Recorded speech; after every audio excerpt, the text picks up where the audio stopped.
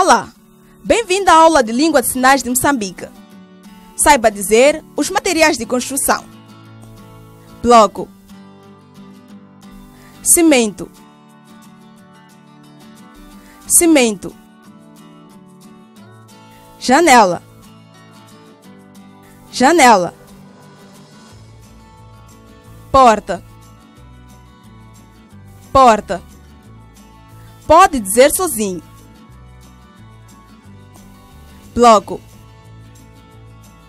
cimento, janela, porta, bloco, cimento,